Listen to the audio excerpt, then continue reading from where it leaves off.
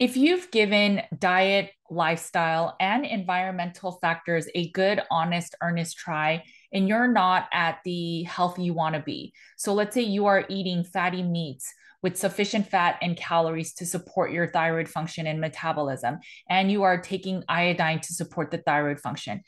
And you are trying to balance sleep, getting enough sun for vitamin D and for cholesterol, and you are doing some levels of movement, strength training, and cardiovascular health for heart health, and your health is not moving enough in the right direction, you're still suffering from brain fog and fatigue.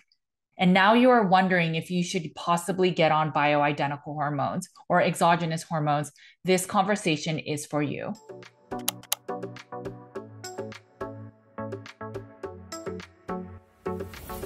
Hey guys, my name is Judy Cho, and I'm board certified in holistic nutrition. And I have a private practice where we've worked with over 2,000 carnivore clients and patients, helping them get to root cause healing. And we often start with the Carnivore Cures All Meat Elimination Diet. Today, I have the pleasure of sitting down with Coach Zane Griggs. He is the author of Kicking Butt After 50. Sorry, I have to change the verbiage. But in our conversation, we talk about all things health as you are aging and aging gracefully. He talks through what happens as your hormones start going down. And one of the risk factors of that is your age. We talk about the importance of managing your diet and lifestyle, your exercise, your movement, getting enough sleep. And then beyond that, if things aren't improving, because as you age, your hormones will go down anyway. But if you feel low mood and low energy and brain fog, and you're just not able to balance that well, we get into a conversation of whether or not bioidenticals should be on the table for discussion. He shares a lot of good points as to why it may be beneficial in thinking about the risk versus reward equation when you are making that decision. There is no answer for each individual person. I wish there was. I wish that everyone should do X and then therefore you will get Y. I wish it was that easy, but it really is not. And I hope that this conversation, if anything, our goal is to make you think, make you decide, in your own journey and being honest with your own wellness journey and then figuring out what your next step should be. I hope that this conversation allows you to think and process and figure out is bioidentical hormones the right move for you? And if you should, what should you be taking? We also talk about exercise, diet, the importance of sleep. We talk about our sex lives. These are a lot of important things that we discuss in this conversation. Before we get into this interview, please make sure to like and subscribe and hit that notification bell because that allows us to get our content out to more people. Thank you so much, and let's get right into the interview. Hi, Zane. Thank you so much for joining me today. I'm excited to get to know you more and also get the community to get to know you more. So, if you can introduce yourself for the people that may not have heard of you.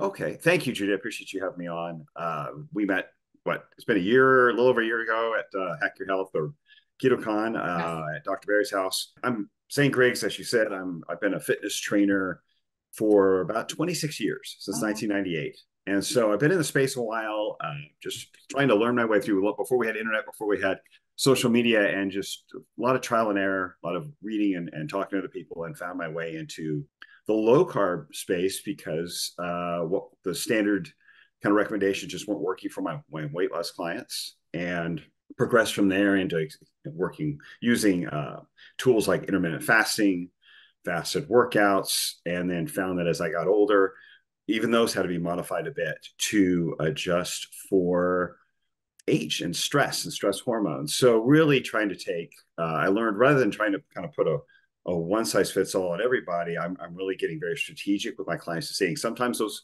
those work well, and if they don't, here's we we, we adjust. And so I've just through the years learned to uh, after with a lot of trial and error again figure out how to use certain tools for the right person and what gets them from a to b may not get them from b to c. What gets them through one point of their journey may not always be what they always need to do for the next part of their journey. And so that's that's kind of where i am now with a lot of clients that are 45 50 and older. It's like as they get older they still want to stay fit and modify you know make certain modifications to what worked before their their whole goal I, I, try to keep the end in mind which is to keep performing at a high level and so it's to help those people keep performing at a high level is really the goal more more so than uh than than sticking with something that that worked in the past if you were to pick maybe three tips or three levers that you use to help people that you've seen generally speaking you may see certain people after the age of 50 or 45 that they start struggling with X.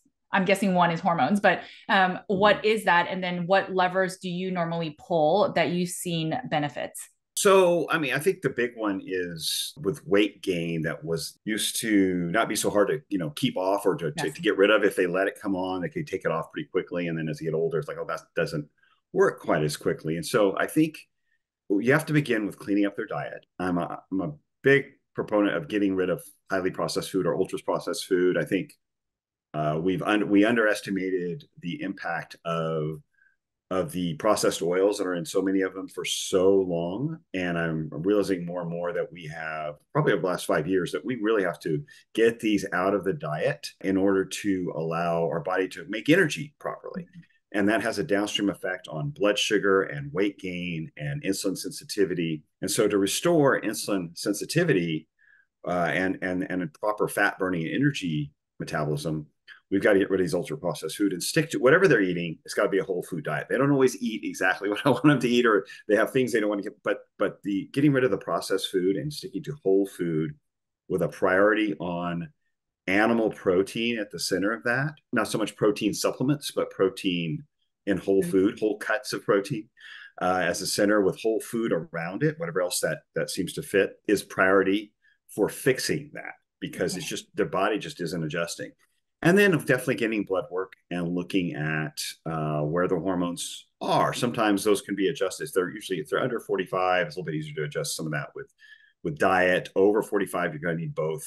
Um, many many require in order to uh, bring hormone levels up to a, a real like I, I, again i'm looking at people who are are trying to keep pushing the pushing the lever you know at a high level you know trying to keep keep you know a lot of leverage on their energy and their career and so they may opt for a bioidentical hormone replacement. But I always tell them don't use this as a crutch, don't use this as a tool to allow you to eat poorly or to keep consuming too much alcohol. When we have to get, we can't chase the spider with, uh, you know, chase the fly with a spider, right? We can't try to over leverage a one tool because we don't want to fix something else that's so obvious as like our diet or alcohol consumption.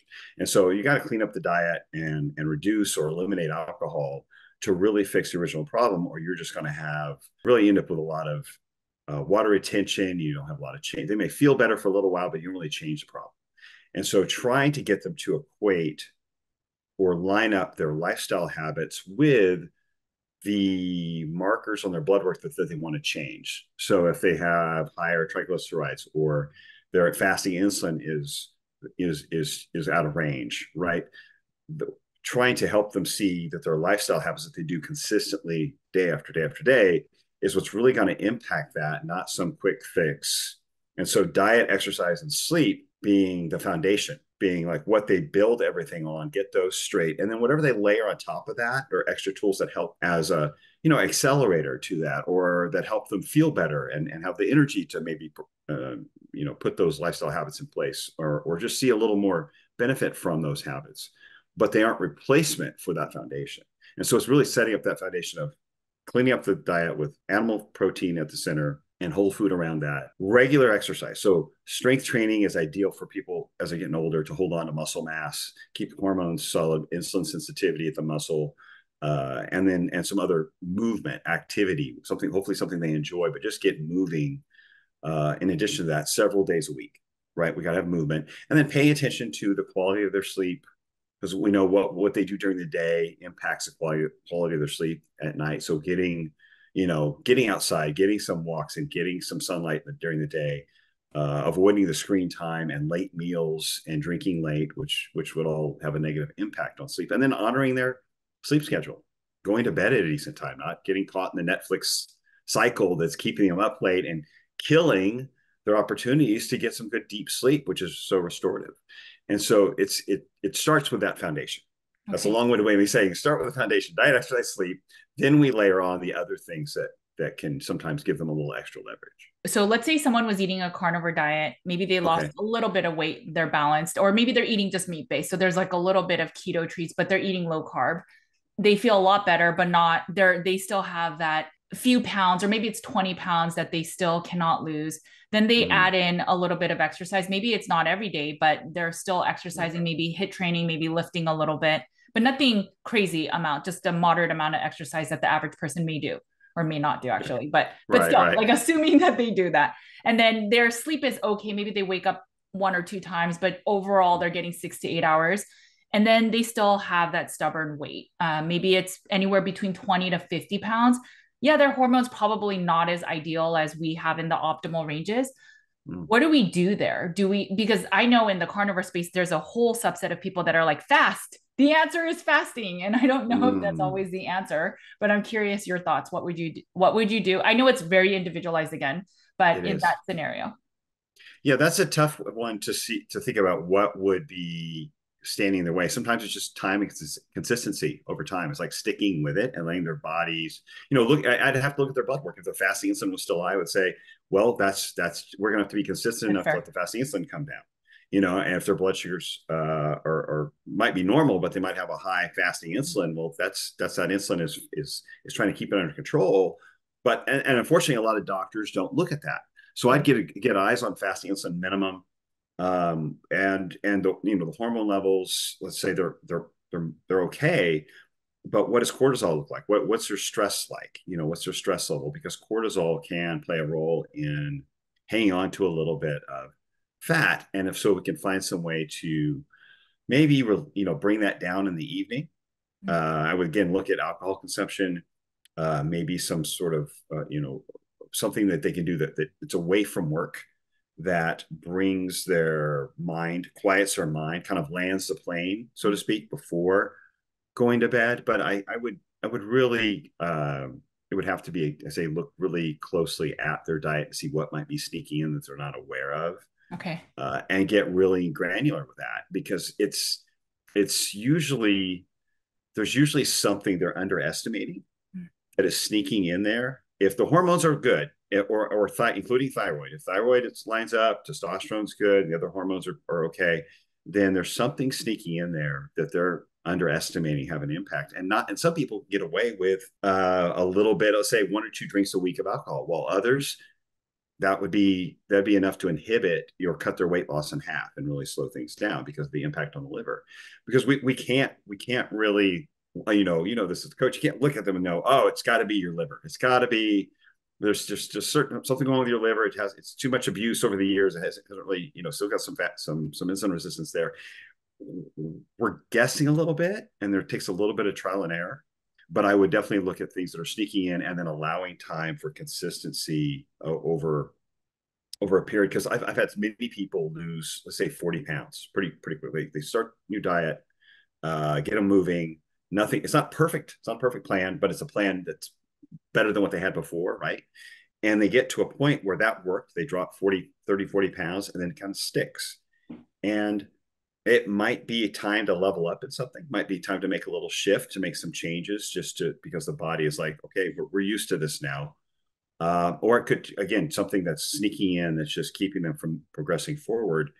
But I think time under, you know, area under the curve, you know, time hmm. uh, of consistency many times it's just their body kind of getting a reset and or getting past that set point and then we make a couple shifts and then it starts moving but it's it, it's so individual it's really hard to say but that's that's what i would look at. I'd look at blood work. What are we missing? Closely look at diet. What are we missing? Can we level up somewhere else? Can we no, level think, up in the exercise you know? i think that's great. Um it, you brought up alcohol a few times. I'm curious because we don't we assume this is probably naive on our end, but we assume that most people aren't drinking. And we do have a question in our questionnaire of uh, how many drinks do you have in a in a week? And most people say zero. And it might just be because we work again with the chronic illness community. Right. We do sometimes see triglycerides go up, and the only thing they're adding is alcohol. And so that's where I can see the imbalances. But just your take. It sounds like you have seen if people are dialing in their diet um, let's say they're dialing in their sleep and they have some level of movement are you saying that alcohol can impact or inhibit weight loss? Just alcohol? Absolutely. They can do everything right. I've had people, you know, intermittent fasting, eating clean, working out hard, you know, strength training three times a week, doing cardio on the on the other days, what doing what I thought was everything right. But coming home and having a drink or two, three, four nights a week, just to just take the edge off of work. And uh, you may be losing quarter pound a week, doing everything right. It's like, why is this sticking? Reduce the alcohol to either zero or maybe one night a week. You have one or two drinks one night a week, and it goes back to pound and a half, two pounds a week. Wow. So it's just it can really stand in the way because of the impact on the liver. It's, it's hormonal. It's not caloric, right? Alcohol's threat is not really caloric. It's it's it's its hormonal impact on and the toxic the, the impact it has on the liver's ability to process uh, well fat. But I mean, really, its impact on on. I mean, we know alcohol creates fat in the liver, which clogs those uh, cells with fat, and then in, which impacts the uh, ability for the liver to control our blood sugar. But the liver is controlling our blood sugar and has to respond to insulin and glucagon right properly. So if we start impairing its ability to do that because it's tied up trying to detox alcohol, or because it's become started to become a little fatty from that alcohol, that's our blood sugar. That's that's our insulin sensitivity. That's the, that's where it all starts is at the liver. And so uh, we we really underestimate. I think for a long time, people talk about the you know oh it only has this many calories. Oh, I'll have red wine, and it's like that's great. Yeah, beer will put weight on anybody, or a sugary cocktail put weight on anybody because you're adding sugar or adding grain to that alcohol. But the alcohol still has an, a hormonal impact that people don't seem to um, give enough weight to when it comes to uh, stabilizing their blood sugar. And, and you and I know it's it, that's what it comes down to. We're trying to stabilize blood sugar to allow for fat burning. That's funny because so I haven't drank since uh, many a long time ago. Ever since having kids, I nursed and then I had a pregnancy right after. So I basically have not drank in a long time. And then I got into wellness, so it's really hard to even fathom drinking again. So for me, it's always like, oh, it's a non, it's like not an issue. I won't drink, but I never thought about there's always those keto drinks, the alcoholic, like, oh, this doesn't have sugar, it's low carb, or drink a vodka because there's zero grams of carbohydrates. But I never thought about the I never thought of it in the well, without carbs, it still can impact your liver, which obviously this is such a fundamental, uh, like a, a basic thing, but yeah, mm-hmm. it, it will absolutely impact healing. So then is your general recommendation no alcohol if people are really trying to refine their their body composition? Yeah, I mean, if they're if they're trying to refine their body composition, I tell them the best thing to do is not to drink. Okay. And if you at most two drinks a week at most, and keep those as low calorie, I mean, like a red wine or a straight alcohol or something like that as possible if they're going to do it, but ideally not at all while they're doing. It. And then once they're in maintenance mode, then we can maybe find a sweet spot that allows them to maintain and um, and, and, they'll know what to do if they start putting weight on. They know they got to cut back, but maybe they find, you know, then. It, but once they've done that, once they've cut it out, usually that scales back their perception of how much they really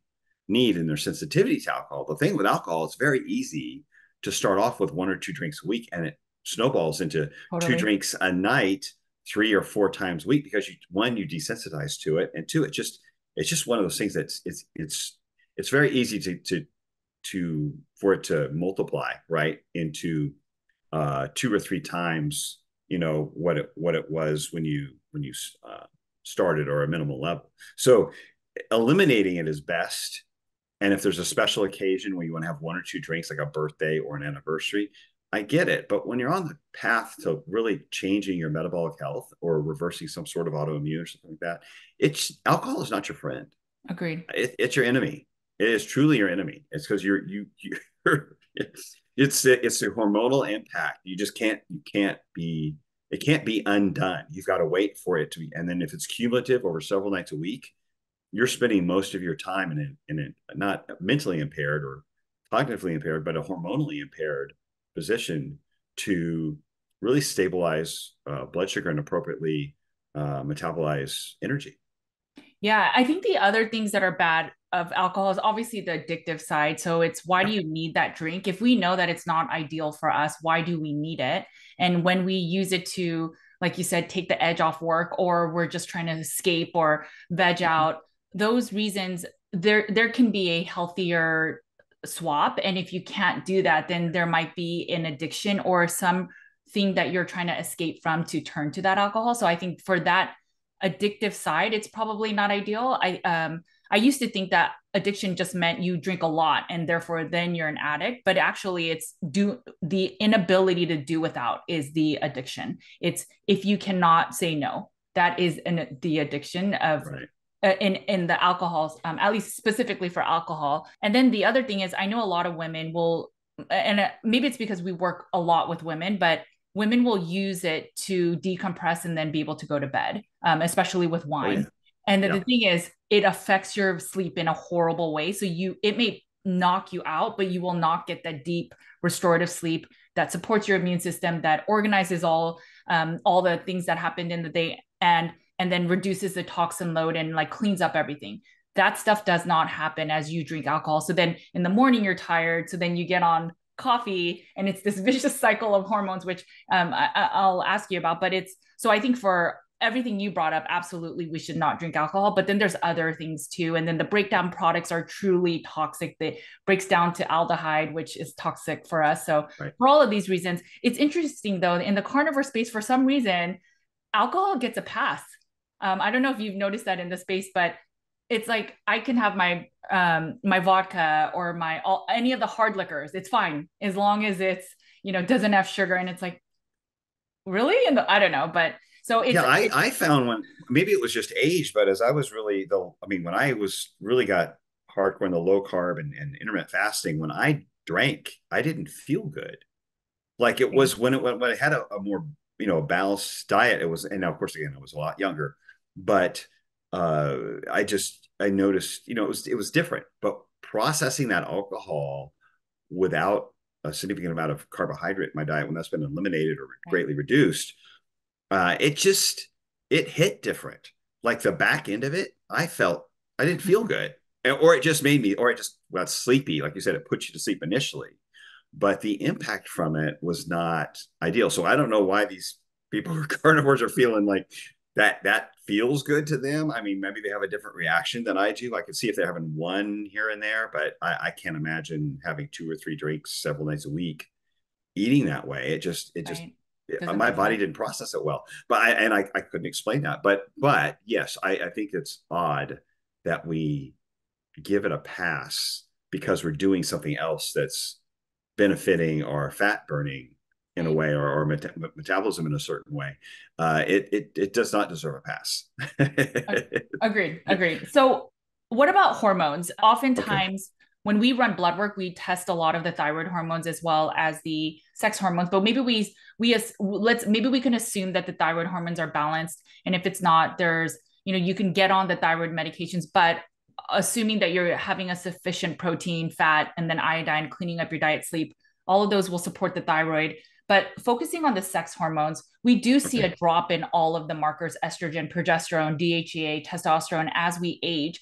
But lifestyle factors can obviously affect that. In our space, there's such a division of as you get older, why not age more gracefully and get on bioidenticals? And then there's a whole other subset that say, well, that's not natural. Even if it looks identical, it's still made from plants, or um, it's there's just these risks with taking it. And um, and then people on both sides say it does cause cancer, and the other side says it doesn't cause cancer. That was more of the non bioidentical. So, where's your stance on all of that? I haven't, t- to be really candid, I haven't done enough research yet um, mm. to have a stance other than I like to be more natural. But ever since being in the carnivore space and working with chronic illness people a long time, I know that it's not always possible to be fully natural. Like that's the you know the the real real talk of being in wellness so what what's your take and um, what have you seen well my experience has been that as we age whether they're whether they're optimized at optimal health level optimal health or not you're going to see a reduction in those sex hormones right it's kind of it's inevitable and and we've seen uh, even you know very healthy uh, carnivores and, and people in animal based space post sometimes their, their blood work and it's like they have low testosterone. They may not choose to add the, the bioidentical hormones, but they have very like low testosterone or levels are not ideal. They're not optimal. And so each person has to decide whether they want to, you know, if they want to be natural, fine, they're gonna they're gonna have to muscle through that. Or if they want to optimize and take their hormone levels back to where they were maybe in their 30s or, or, or 40, uh, that's definitely a personal decision. Mm-hmm. The majority of my clients in that age group are on some form of bioidentical hormone replacement therapy, including myself and my wife. Okay. So, uh, and we found that most of them once they once they begin that they feel much better there's it's not about there's i think there's a misconception that it has that's about adding especially with especially with testosterone adding muscle or it's about putting on more muscle or about it's like that's like number 10 at the bottom of the list as far as i'm okay. concerned there is the just a total outlook on life a, a removal of some some of the brain fog or uh the tiredness that can kind of hit in the afternoon just from fatigue there's just a better mood improvement in mood better sleep um, it's uh, I have one client who's a singer. Uh, she was a Broadway singer when she was younger, and now she produces some off Broadway stuff. And she's 54 now. She's saying she's hitting notes. She's got her on testosterone as well as the other, uh, you know, estrogen, progesterone to support her on the other side of of menopause. And the testosterone not only improved her outlook on life, but she's hitting notes that she hasn't hit since her 30s, and she's 54. So she's hitting high C's because her, her vocal cords are recovering and getting lubricated like they did back in her 30s.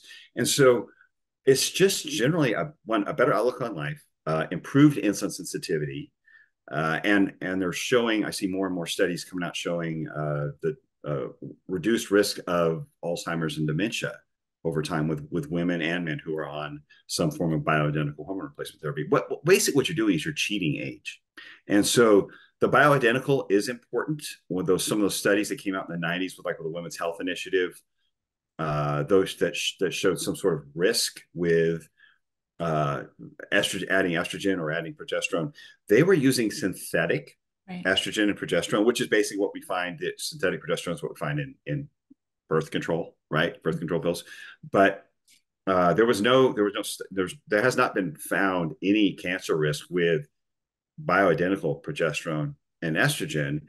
And if you, we think about this, if we're elevating hormones to a level that we were in our maybe they were in their 20s or 30s, okay? Do we have a lot of 20 and 30 year olds coming out with, you know, at, at cancer risk, mm-hmm. or, right? Or in general, uh, because of hormones levels, because of their natural hormone levels? No.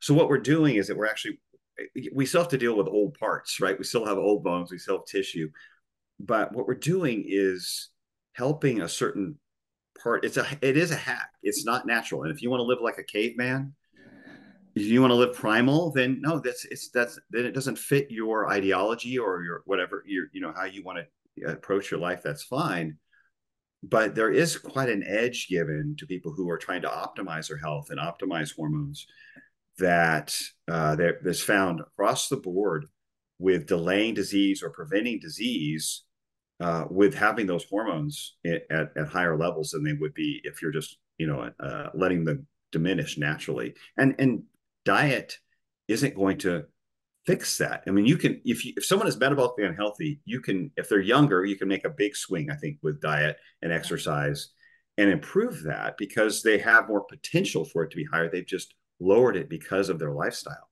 But once you get past, say, 47, 50 years old, uh, their age is is a factor. And so you can certainly improve all of those markers with, imp- and, and I, as I said, that, that has to be the foundation. But there's only so much you can do. You might improve at 10 or 20%, but 10 or 20% mm-hmm. of a minimal level when you're like, for instance, a guy's free testosterone is down in the single digits mm. and it say it's at six and it goes, you, know, you prove at 20%, it goes to seven and a half or eight. That's not a big improvement. He's not going to feel that. You, you got to get, you, you're looking at having, you know, wanting to double or triple his numbers, his free testosterone with a bioidentical replacement. Women, I mean, when menopause hits, those estrogen and progesterone fall off a cliff. I know. Right? I mean, it literally drops. They feel it. And for many, some women, it, it's very individualized. They can say, oh, you know what, I'm okay. They can cruise through it. They're they're fine with it. They want to power through it. That's fine. But many women, they get depressed. They their outlook on life is greatly diminished. They they they just lose any kind of drive uh, and vitality.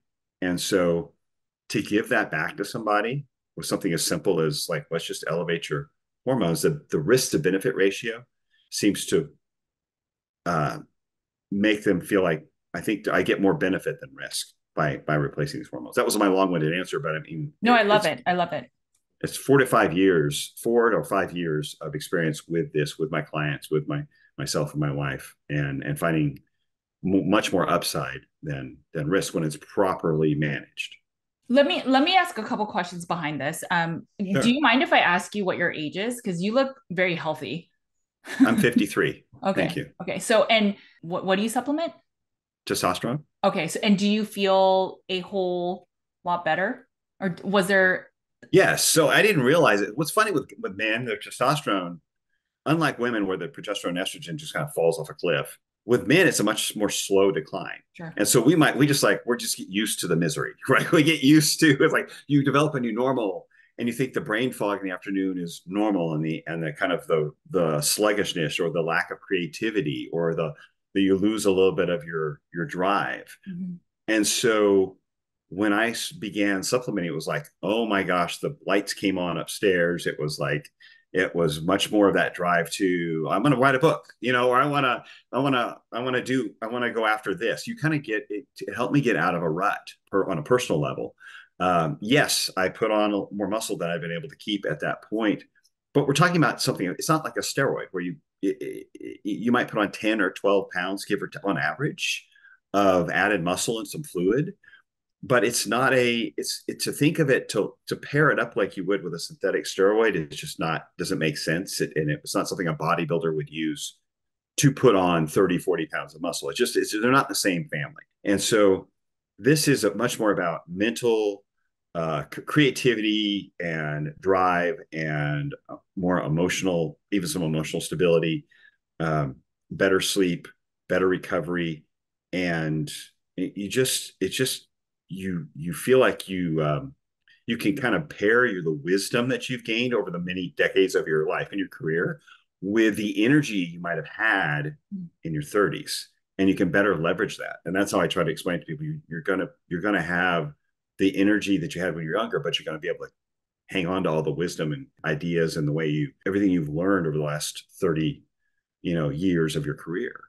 And so it's a great it's a great pairing for someone who's really trying to keep going forward in their 50s and 60s and and and before you got on t yeah you improved your diet and all like all the lifestyle oh i was diet. yeah i was okay. oh i've been dialed in for okay. yeah i mean decades. Okay. Yeah, I was I was a lean. I mean, you know, ballpark right around ten percent body fat, okay. working out three or four times a week with strength training. I was a trainer.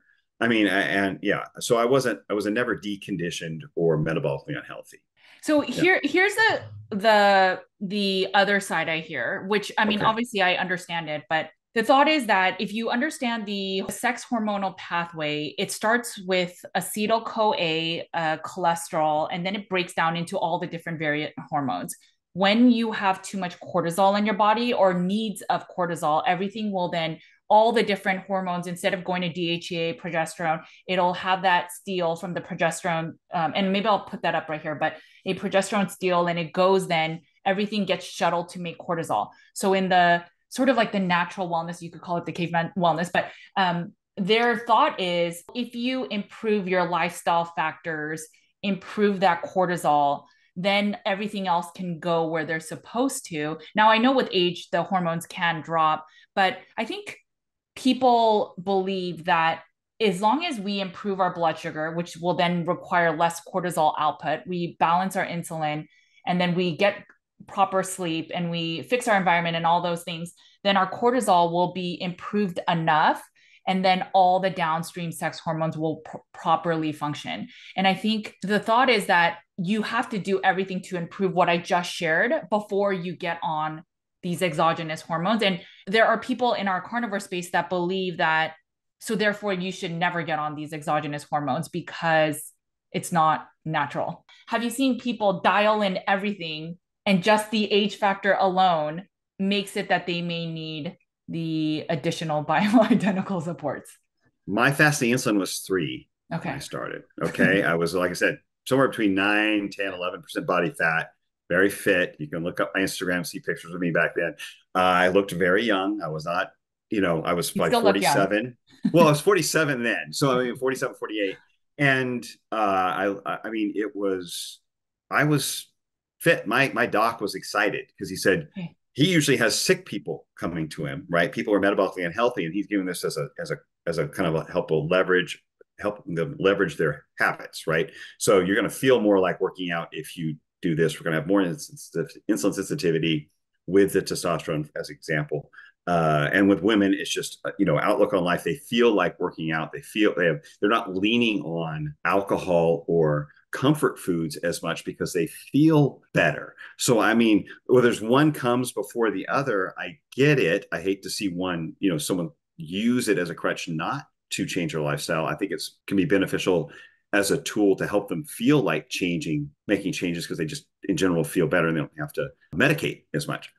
But, you know, I mean, each person has to make that choice. And I would never tell someone they were right or wrong but it's what you're willing to endure because there again age is only i mean your lifestyle habits are only going to impact so much as we age age is inevitable age is the number one risk factor for death right it really is and so age has an impact and we can measure these hormones we can measure them in in to the point say this is an age this is a range now how do you feel and, and, and from there go with how do you feel in this range and then make improvements around those ranges but we generally know what is optimal and mm-hmm. what is suboptimal.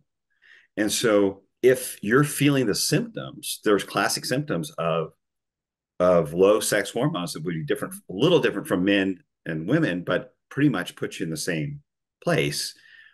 You could correct that how you feel and some of those side effects with th- these hormones. I'm not sure if I answered your question, but it's just I I don't I work with people and I personally want to live optimally. Yeah. And so if there's a tool that helps me live optimally, right? I, everything has a risk to benefit ratio. Every diet has a risk to benefit ratio, yes. right? Strength training has a risk to benefit ratio. Driving has a risk to benefit ratio. How natural do you want to go? Shoes are shoes natural? I mean, I I perform better wearing shoes when I'm trying to get from here to there than I do barefoot. I'll get barefoot on the ground for granted, but I mean, when I'm trying to get around, I put on shoes and I don't walk everywhere. I get in a car. So I look at these as a tool that helps me perform better. And there's plenty of research to show that they prevent more disease than they cause, especially when properly managed. And so to me, the risk to benefit ratio says the bioidentical hormones are going to extend life and extend health span uh, much more so than than not having them. And so uh, that's, I mean, that's that's my personal experience. I think what you bring up that um, I never considered in this whole equation is so if somebody's like, no, I'm going to fight through and muscle through this perimenopause or or me- getting into menopause, and I'm going to fight through it and not be on these hormones, but then they turn to food and they binge or they turn to alcohol. We never put those as risk factors of not having ideal health either. So mm-hmm. I, I do think in an ideal world, so this is how maybe I, I view it after talking with you, but you know clean up your diet do the exercise focus on your sleep make sure your environment's clean uh, get the junky carbs out of your diet as much as possible get that insulin as sensitive as possible mm-hmm. and then see where your hormones fall if you feel you've given everything an honest earnest try and your hormones don't look ideal it's something to dabble in if you feel you have no motivation in life or you feel every morning you wake up and you have brain fog or you are tired maybe mm. it is some lever to consider and then and then trying it and then doing your own research figuring out because i'm not at that age yet so i just don't right. like I, it is a non-concern for me right now right but i will right. get there and so you bring up strong arguments if i end up having low energy and i just keep using caffeine to pull the cortisol lever is or i could have just used a little bit of progesterone or so it's a right. it's a valid argument um and then and and it's just i i'm not there yet so i cannot empathize and that's just being me being right. wholly honest um but and it's just easy to go well we should all be natural but i think your arguments yeah it, it's true we we pick and choose when we want to use that narrative too right of like let's go more natural or not we do we do and until you experience that it's hard to empathize you don't really understand it's not we're not yeah. just older we're not just you know we don't we don't just have to be more disciplined. There's there is a definite impact to how well your organs function. They have a they have like a lifespan for reproduction.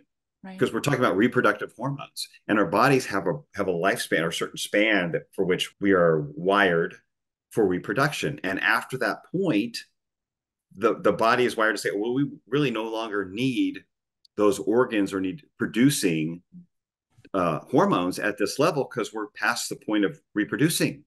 And so, unless you, I mean, let's, if we're being honest about it, okay, so your hormones are going down, you think power through it.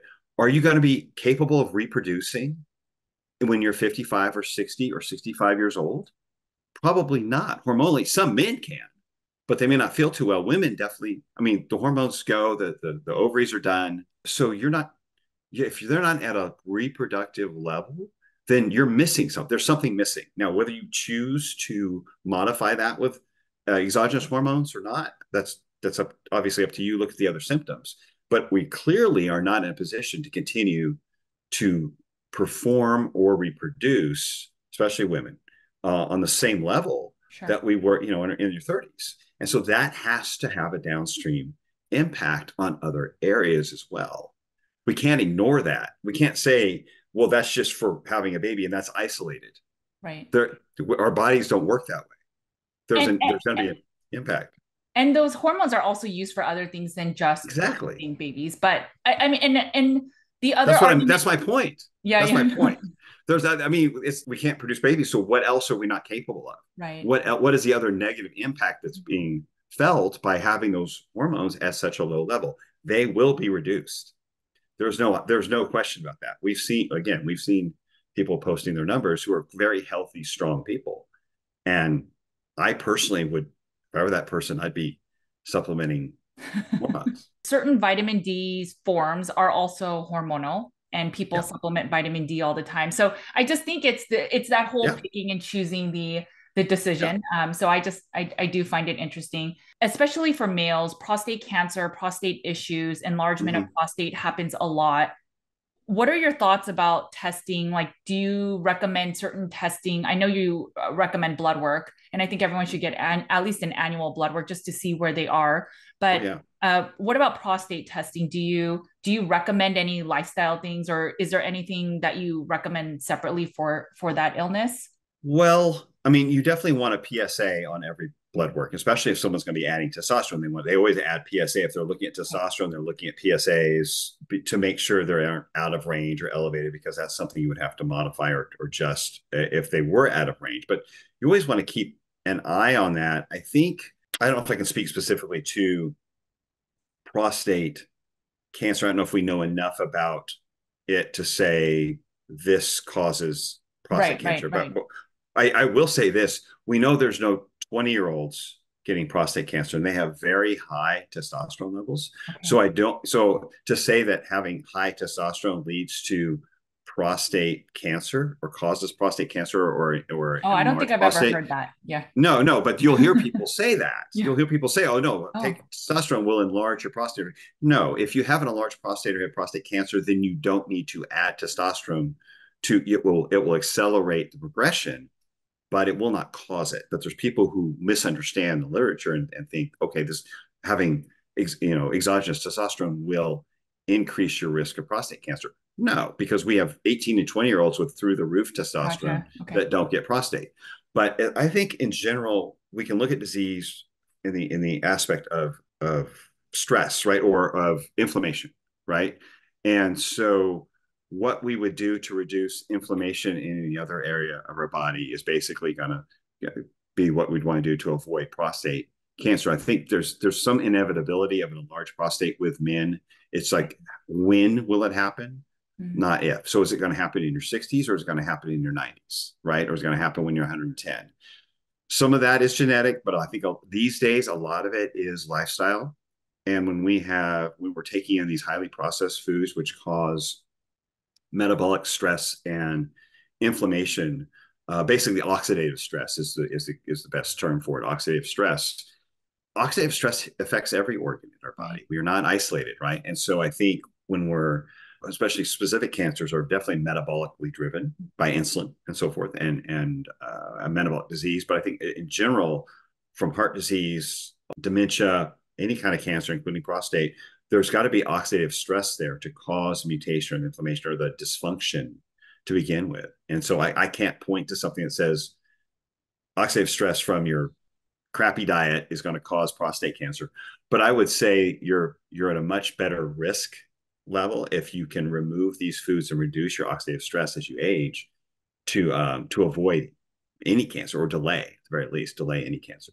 Yeah, I had a client that were started working with us and had an enlarged prostate as they cleaned up their diet. Um, I think mm. they noticed that dairy felt at least not that they tested um, during that part of the elimination diet, but dairy felt like there was a um, a factor in inflaming. But I think it's really mm. the inflammatory part of it, not the cheese it's or the dairy itself. But mm-hmm. for some people, maybe it might be it, it could be a food that maybe causes sensitivity that then causes inflammatory responses in the body that then affect their prostate. But um, I, I agree with you. I think it's it's driven by inflammation. So it's so that person eventually found out they were living in mold illness, and that reduction of mold and inflammation from mold and uh, mycotoxins was what allowed their. Um, it didn't totally shrink the size, but it reduced the pain at least from it. And so mm. I, I, would have to agree to you, uh, agree with you that a lot of it is just stemming. The goal is always to reduce inflammation in the body, and a big portion is from food. But then there's other things that can also cause the inflammation to to rise too. Right. Oh yeah, there could be environmental uh, yeah. factors for sure. Yeah. And then uh, what about exercise? So you brought up the importance of exercise. What would you generally recommend? Is there like an exercise regimen before your 40s and then afterward that you would recommend, or is it all sort of the same? Well, I think that we can tolerate more when we're younger. we're uh, under 40. I think, you know, like extended cardio, like lots of run, someone's doing lots of running and it's working for them, or if they're lifting weights five or six days a week and they're not showing signs of of of, of that catching up with them, then okay. I mean, I, I still don't recommend it, but they're getting away with it. I think over 40, we have to be more, we have to pay more attention to our recovery and how it's impacting our sleep and that stress and that compounded stress. I don't I, I see more and more with people who are athlete. I mean, high level athletes, even in college and in their 20s and 30s. Once they get in their 40s, they've got to reduce, you know, do fewer Ironman. Do don't do so many marathons. Look for shorter distance if you're gonna have to, if you're gonna run or reduce the running or find another sport. Uh, reduce the impact on the joints. Uh, with strength training, I, I, you know, reducing the volume, you know, not having more rest days. And I think two, two to four strength training days a week done wisely, like with, with a good plan is, is beneficial for anyone 40 and up, up 40 to however old you can get and keep showing up to the gym. Beyond that, uh, you're, you're, I think you're pushing the needle in my, in my experience. And so I think it's more about managing the recovery and the stress because that is all inflammation as we've talked about before with the inflammation. It's it can cause if it's re- inflammation we cannot recover from then it's it's a negative. Then we, mm-hmm. we, are increasing the risk and we're that, that could start outweighing the benefit. Again the risk to benefit ratio. And so we have to pay attention to, to the individual. Strength training i think is very important for retaining muscle and bone mass which we know starts to diminish as we age. Part of that's hormonal but a lot of it is maybe we're more sedentary but we also just start we start losing it. It's just part of the aging process. And so we really have to fight to keep uh, that lean mass and strong bones. We know number one risk factor for for for injuries for people 65 and older is falling. Right. now we can all fall right? We can fall playing soccer or ride a bike or whatever we do. Kids fall all the time. Nobody ends up breaking a hip and getting pneumonia right? And being bedridden until you're over 60 and where that's a very common occurrence. And so you need it, you need to be able to be durable right and resilient. And that i think that begins with making sure we're hanging on to lean mass and keeping our bones strong and then adding in some cardiovascular exercise two three times a week as well to to make sure that we're uh, creating nitric oxide and our blood pressure is is is being able to you know be managed uh, naturally. And that our, our heart's in good condition. We just it just we have to be a little more deliberate, I think, in the way we execute it. So we're not adding too much risk and then we're not adding too much volume risk from the execution. So whether it's impact or how heavy the weight is or paying attention to injuries or how the joints are feeling. And the other side of that is reco- allowing for enough recovery that we're not overtraining. And then keeping protein at the center of that uh, high enough to for recovery, I think that we also need to you know to add to that uh, maybe make sure we're very deliberate about getting adequate protein and maybe a little more than we took in in our 30s and 40s as we get close to 50s and 60s just making sure be, because it becomes a little harder to assimilate we might yeah. have to edge it up totally. a little bit Yeah. Uh, so two to four times of strength training. And yeah. is there a specific amount? I know that's again individualized, but is there like a minimum amount that people should at least do? Is it just body weight is sufficient, or should we be lifting beyond body weight? Um, I guess if you're trying to grow, you would need more than that. But and then, oh, yeah. and then the cardio. Um, I agree. I think even just getting your heart muscle to like work a little bit more. I know that in the low carb space, they don't really care for cardio, but I think it's important for these other factors than just the lean body mass. Um, and right. so that's a few times a week. Can you do both on the same day, or is, do you recommend them separately? What are your thoughts with that? I mean, you can do that. It's better to do them when you can do them. You know, okay. so if you have three days a week where you know, hey, look, I can devote an hour, I do half an hour one, half hour the other, 40 minutes of one, 20 minutes the other, and that's what you have. It's about the consistency over time, mm-hmm. more so than what your week looks like. You know, I mean, I definitely think you need to schedule it and be very deliberate about getting it done. Uh, I definitely tell people to try to work close to when it comes to their strength training. That needs to be challenging. It needs to be where they're working close to the point of failure, where that that mm-hmm. exercise you would fatigue or right up right up maybe one or two reps before they would completely fatigue, and and find a way to safely do that. If a, putting a bar on your back to squat may not be the safest way to do that. I I wouldn't. I don't like going that close to it. I, I do it, but not often. You know, I, I, am careful with it. But I've been strength training since I was 17 years old. I've been strength training for 36 years. So when it was coming to, into it, hit the machines. Find machines. Find something where you feel safe, or bands, or a you know, find a way to use your if using body weight, get the body. You know, put yourself at an angle with a TRX strap or using put your feet on a bench, doing what you need to do to get close to that area of fatigue, whatever apparatus you're using, but do it safely so you can push up close to that point of failure and not be in the danger of of injury or something like that, or not be able to get yourself out of that position. So work safely, but definitely work intensely, but not as many, you know, sets as you would have done when you were 20. And so I think the consistency over time, frequency. So even if it's a short workout, 20, 30 minutes of intense movement, you know, or, or working to that point of intensity with strength training for 30 minutes, 20, 30, 40 minutes, two or three times a week can make a big impact over the course of years if you're consistent. Right. And that's what we need. We, we, we have to think long term.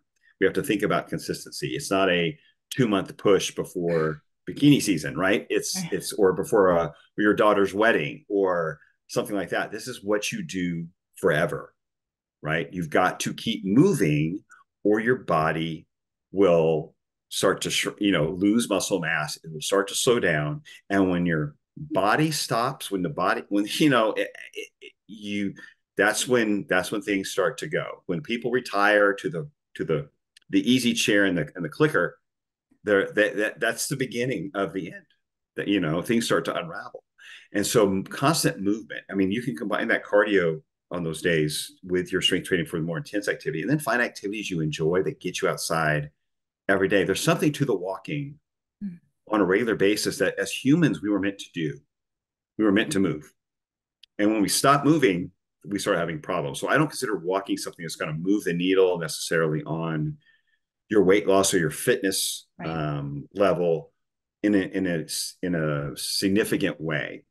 Walking is is not a replacement for strength training or cardio. Walking is a replacement for sitting. You know, walking a replacement for sitting still or, or, or having hours and hours and hours of being sedentary.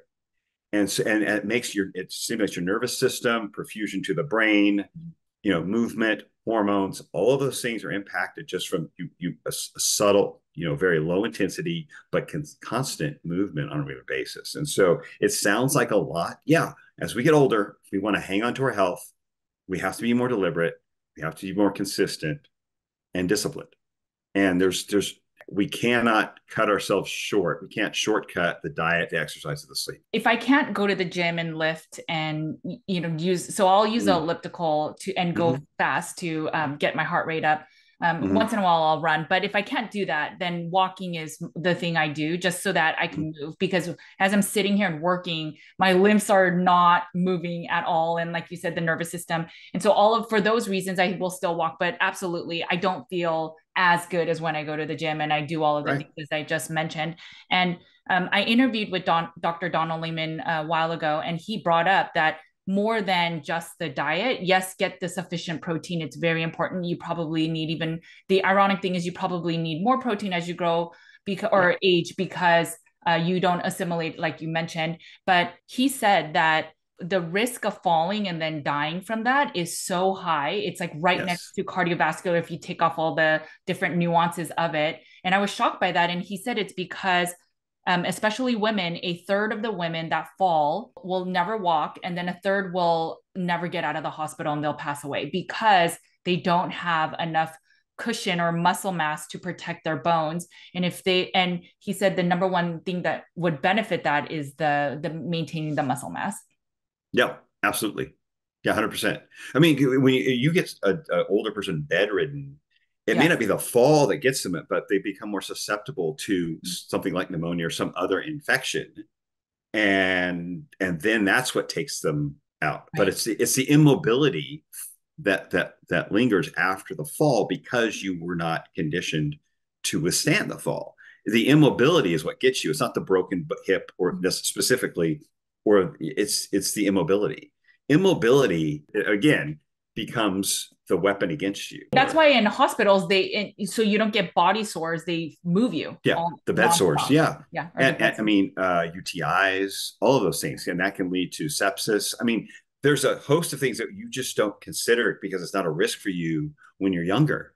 Right. But once you get past 60, 65, it's like suddenly the risks start popping up like you've never seen. It's like, oh, okay, I've got to, I've got to keep moving and and I've got to be I can't eat this because this is going to have a impact me for three days. You miss, I mean, a bad night's sleep when you're 30, you can kind of power through it and get a bad night's sleep when you're 50 or 60, you feel that for three or four days. I mean, it takes that long to recover. It's just, it's just how it is. And so, I, I mean, as healthy as you can be, there's just an impact to age that we can't underestimate and think that, oh, that's not going to happen to me. No, it's going to happen to you but if you but how you manage it is crucial and what like the lifestyle habits that you you've already established are going to carry you forward. I know from personal experience they're going to carry you forward where you're going to watch your your other people who are your age who do not have those same habits they're going to start falling apart right? Their medication list goes up their waist size gets bigger they became less mobile they're more tired and and you're walking through like a rock star because you've had these habits in place for years and you're just you're doing what you've always done. And so it's less of a bump in the road. You can manage these things where so but these guys are getting hit like they're getting by a truck. Yeah what's so interesting is i was talking to one of my mom's friends a while ago and she mentioned that uh, for a long time, especially when you're younger, you eat bad and you don't exercise, you don't move, you you make a lot of lifestyle choices that are not ideal for health, and it doesn't show up for some people. But all of a sudden, 20 years later, you see the you see the difference in the faces of oh wow, you've aged. Like life has been hard for you, and mm-hmm. I think it's I, I I totally understand what you're saying. Well, what about supplements? Because there's a lot of people that will lift and will take creatine after. Do you, what are your thoughts on, or people, you know, they take the protein smoothies right after because they need to bulk up their muscles. Do you do any of that? Do you recommend any of these supplements? I, I, I generally recommend whole food protein. Okay. And, and as, as the rule, and if you get in a bind where you just can't get it, then find a good protein supplement. So I, I don't, I, I try not, because of the, especially the impact on blood sugar and all the micronutrients, the, the, the negative impact on blood sugar that up and down that uh, blood sugar that protein supplements can have. Uh, they usually end up being hungry within a couple hours after taking it because it's such a, a spike and a drop. Sure, sure. So whole food protein tends it's longer to obviously break down, digest. So you get a little more stable response. And so I I think that's a good backup, or if someone's trying to adjust to increase, use it as a as a way to get there. Creatine though uh, has again much more benefit and almost no risk for mm-hmm. studies for the last 30 years. I mean, neuroprotective yes. uh, helps hang on to muscle mass, helps with strength uh, retention and strength gains, muscle gain. So I'm a big proponent of creatine. Uh, Magnesium is another one that I think most of us aren't getting enough of. It can really help with sleep. And as we get older, I mean, it's important for bone health as well. So, I mean, vitamin, I mean, D3 K2 combo. I mean, because I, I, don't get enough D3. I try to get the sun as much as I can, but I tend to be lower. But if you have D3 and K2 together, that K2 is really important, I think, for reversing, uh, helping our body reverse arterial plaque, really start reversing the, the, the build of plaque and soft plaque, just, just dissipating it. So those, you know, magnesium, D3K2, and um, creatine are probably my most consistent supplements I would take, uh, just for for general health and performance and and, and longevity. Really, all yeah, creatine I think also supports the gut. There's a lot more research coming yes. out about creatine. I just saw an article of, um, and I didn't read it though, but the headline said um, the supplement that everyone needs to be taking it's creatine. I have this feeling that creatine is the next big thing in the wellness space, but and and there, there's other benefits than to just build mass. Um, if oh, you yeah. look at if you look at electrolyte uh, blends, a lot of ones that are specific for fasting, they'll uh, actually add in creatine as well. So I don't think it's just for, but yeah, there's multiple benefits, and I think everyone is needs to figure out what makes sense for them. One of the last questions I wanted to ask is. Um, and maybe this is all hormonally related to, but you know, there, a lot of people lose sex drive over the years and i mm think it's i think the importance of connection and community is so important to um, have mm longevity and happiness long term. And so the, the sex life is so important especially if you're married and if you're a couple. But as people age that's a common pain point we see is i don't have a sex drive. I don't have um, i don't have the desire to or it hurts or you know all those things. What have you seen and what have you done or supported your clientele to improve in that area that would be the bioidentical hormones, hands down. Okay. I mean, hands down. Okay. Uh, men and women, testosterone, even sometimes some women before they've hit menopause, where they don't need the progesterone estrogen yet, start with the testosterone. It not mm-hmm. only helps with the, the insulin sensitivity and maybe some of the, the, the, fat loss, but it helps their sex drive come back. And it's like, I, and I've talked to the women about, it. I mean, once, once women get past, you know, 45, 50, they get really honest you know, they realize with me or they get to trust me and they're like, yeah, it really made a big difference. I'm trying to get my husband on it so he can keep up with me. You know, mm-hmm. it's like that. I get that kind of feedback. And so my, my wife was actually the first one. She was on testosterone before I was and before she hit menopause. And it was a game changer for her as far as her energy, her mindset, but yes, sex drive. And so uh, that again is is normal. Again, what you know, our, our our body saying, "Hey, we don't need to make children anymore. We don't we don't need to be doing this." So sex drive tied to testosterone in men and women.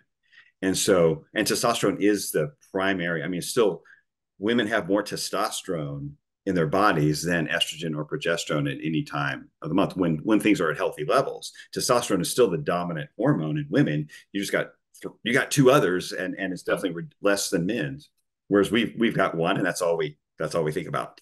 So uh, we got we got testosterone going for men and women. It definitely helps the sex drive both both parties, right, and the couple ideally uh, on it is going to really benefit that connection.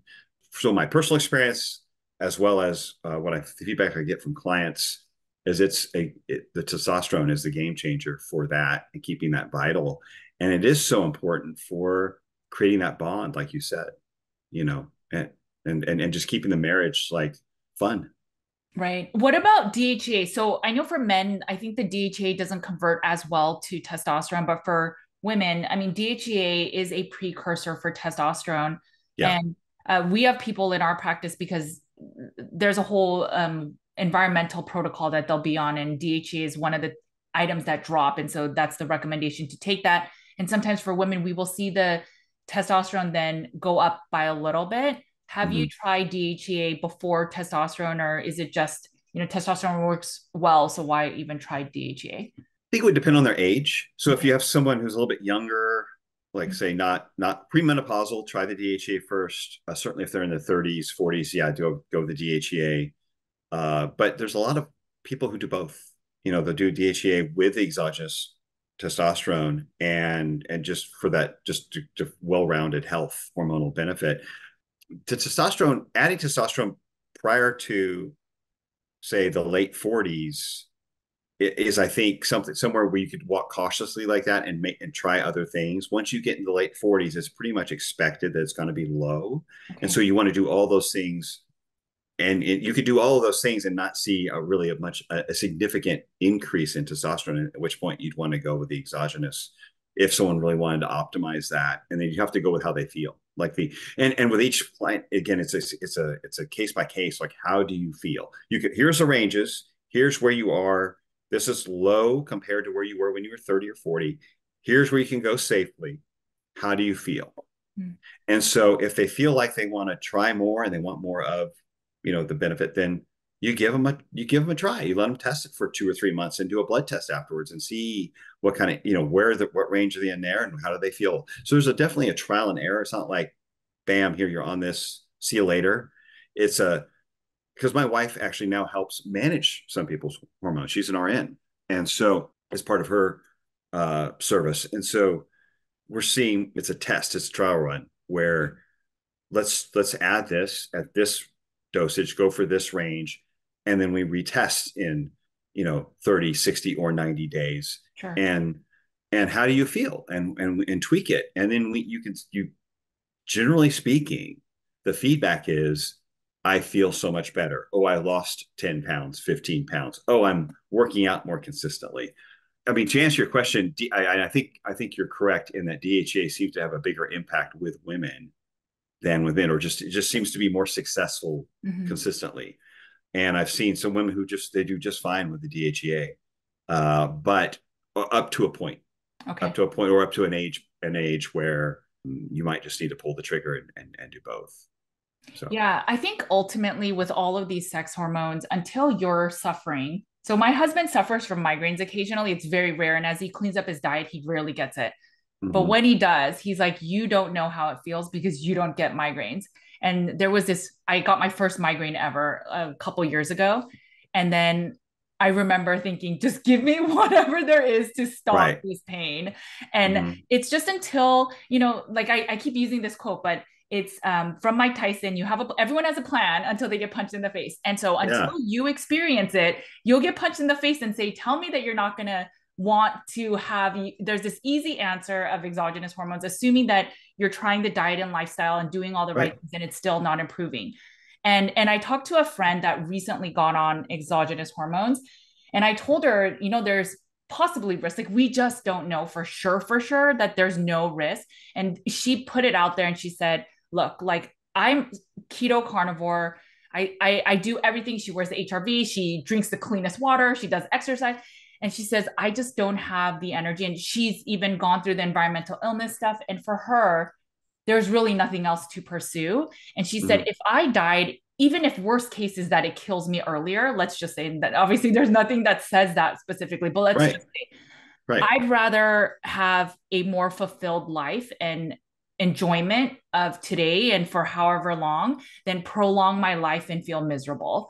And so for that alone, I'm willing to take that risk and I had nothing to say because how do you argue that, right? I, I thought of the situation when I my husband would get on his sumatriptan for migraine. I'm like, I don't know what's in that, but that's toxic. Like we got to figure out what's causing the inflammation in your brain. And and then when I experienced it myself, I was like, oh my gosh, this is the worst. I, I didn't even know that this shiny thing I was feeling in my eyes, like, oh wow, wow, that is really painful. and for me to say, just sleep, put fish oil or magnesium under your tongue and salt, and and I just I felt like I felt so sad that I was saying that when I now know how painful it is. And so mm-hmm. I think everyone ultimately needs to make the decision based on their own lives. And yeah. and I, I don't know if I won't consider it when I get to that age or if I'm not, if my energy is so low and I know that I've looked at everything. And it's just that, mm-hmm. okay, well, my blood work shows my progesterone and estrogen are low and I know that I can pull that lever. Am I not willing to? Because I just want to stay natural. Like I don't know if I can say that and being full candid. And and luckily I'm not there yet, but mm-hmm. it's just something to consider because I think if we want optimal wellness, if you if you're just trying to get through the day, then maybe you don't need it. But if you want to do more, maybe it's something to consider. I, I think the points you shared are so valid and i'd be interested to see what the comments are down below in um, in our talk. And and i'm sure mm-hmm. people will share like i've done it it changed my life. And i'm sure other people will say you should not do it. But um, I, it'll be interesting. But you know thank you so much for joining us today. Uh, where can people find you? Do you work with people one-on-one? Do you do groups? If you can share and i know you have a book so if you can also plug your book. Okay. so with a book, as you mentioned before, I wrote with Dr. Ken Berry called Kicking Ass After 50 we go into diet. It's really a lot of diet, exercise, and sleep okay. in there with a big biggest chapter on diet, and it, it is written toward uh, men primarily, now there's plenty in there to be gleaned as a, as a woman. The only thing I would say is I'm, I'm not a big fan of. Uh, I, I, found more and more that intermittent fasting is not something that a lot of women tolerate well with hormonally and cortisol and so forth. Agreed. And so Agreed. that was the only thing that I think would would change. But as far as diet and the exercise portion, uh, uh you know, run with it. Uh, but kicking ass after 50, it's found on Amazon. My website is zanegriggs.com.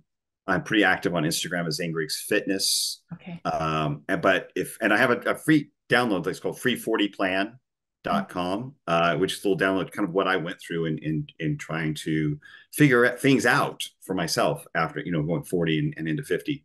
But zanegriggs.com will have all of my socials where if you want to find me there and yes, I do work with people one on one as a as a coach, both remotely and and I do I still have a few in person, but primarily a, a, remote coach where I'm looking at you know we'll look at blood work, we'll get not just diet, exercise, and sleep, but we're going to look at blood work, try to get an Oura ring or something like that on you, mm-hmm. and just start looking at all the aspects of your health and your and match those up with your lifestyle habits so that you can have you know really optimize your health. And if there's other things that are needed, you know, like we we talked about uh, today, then I can connect you with the people who can who can help you with that. So and, and your ner- uh, your wife can sometimes help with the dosing because she's a nurse. Is that correct? Yeah, so in certain states she can do remote. Oh, she has okay. a license, a no, compact license to go with certain states. You know what I mean? But uh, but yeah, she is, then I would refer you to her. She'll she can run blood work and and look at those things. I mean, she does manage a few of my clients' hormones and so forth like that. But I mean, many times someone's private, you know, personal. They're already they're con- con- current uh, practitioner can help them with that as well. And I'm not trying to like, I'm not trying to take that, take that, or uh, get in the middle of that relationship, but I can advise them based on my experience with my clients as a non-medical professional. Here's what I have seen, you know, anecdotally, and what I would think you'd want to shoot from. I'm versed enough to know what's off and what would be ideal. But go ahead. No, I was just going to say, well, you've lived the whole life of it, right? So you've been in the wellness fitness space your whole life. And then you're mm-hmm. now, as you are, you know, going through the age, you're trying to fine tune and figure out what will still give optimal wellness. And you're just right. trying to figure that out. And you, I mean, and, and you did the research writing that book, and then now you see clients or have been seeing clients. And so you also know what works. I think the one on one is so important. I think mm-hmm. when we just share studies and we don't work with people, you don't see like it, it required me to work right. with people one on one, other than writing the book. That I realized, oh, like my by a book ideas of carnivore cure is very beneficial in an I- ideological world. But mm-hmm. when it comes to real people in front of your face saying they're not feeling well, you can't go, well, I'm sorry, you still can't eat any carbs, right? Like there's just this fine balance of figuring out we're meeting people where they are and yes, trying to make exactly. them feel better. And that is a very fine balance and you do not understand that unless you work one-on-one. So that's where i always get punched in the face like my, i said about mike tyson. And so i have to be more flexible. It is i think we are more dogmatic when we do not work one-on-one because it is the individuals that teach us that 100% right? You can okay. tell a real coach. You can oh, meet totally. when you meet a real coach because they understand nuance and the individuality of each person if they're if they're stuck on one size fits all dogma they're not coaching people. Oh totally. They're not they're not in the they're not in the weeds with people because they aren't seeing like because a person a, a client someone with a health concern will challenge your ideology. And if it will challenge your ideology and what you think works. I i went through that myself. Went through that several times with with fasting workouts and intermittent mm-hmm. fasting. I'm like, let's just clamp everybody down to this little. And it's like until it till I hit my own with it. I hit my own wall and realized, oh, I'm over leveraging all of these metabolic stressors and my cortisol's through the roof. And I may look good, but I feel terrible. Mm-hmm. And so, and and and and, and in dealing with people, it's like, yeah, 100% with you. I can tell a real coach when they understand the nuance of taking ideas that make sense in ideal world and then molding them to fit as tools right. for that individual. One tool is great for a lawnmower. One tool doesn't work for a Ferrari. And if you want to you want to help someone be a Ferrari, you need a lot of tools and you need to know how to use them. I love so, it. I knew it because when I first asked the first questions, you're like, "Ooh, that really depends." And I'm like, "Okay, I can see that you work with people because normally it'll be this like this is the answer. And I know that we want the answer online and we want it that like just give me the magic pill. But just when you mm-hmm. work with so many different people, you know there is no magic pill. And I know that's like the ugly answer, but it is. Ultimately you have to find the answer that works for you and i hope that our content and our interview makes people think like do i want to take it or not? Or maybe i first need to fix this first and then maybe i'll consider it but it's not off the table. I just want people to think and the thinking and then making the decision and then maybe working with you working with me but uh, ultimately making that decision not without blindly just going okay doctor said i need x so i'm going to take x. And that's like the yeah. ultimate goal of this because again working one-on-one it's there's no one answer and i wish there was. It would make my life and your life easier. A lot easier. I just write it on a blog. But totally. it's it's strategy. It's individualized strategy that that really comes down to it because each of us are on our own, our own journey. Right. and we are we do all have some individuality. We all have a, his, a physical history and genetics that all come together to make us who we are. And so eh, who wants to be a clone well, we aren't clones in our solutions either. Right. And so, you know. I love it. Well, thank you so much again for joining me. This was a phenomenal conversation and I and I learned a lot from you and you made me think a lot about the way that even in our practice when people are on you know bioidentical hormones like what is our messaging with that because that is a question that we get often is do you think it's a factor in why i'm not feeling well or do you think and it's now now we have a better like at least i have a better understanding of you know, I need to also be super empathetic and knowing that there's a reason they got on it. It's because they either felt fatigued or tired or brain foggy or not well. That I mean, no one just gets on medicine for no reason, right? There's always mm-hmm. a reason and a better understanding that I think can go a long way. Thank you so much again for your time.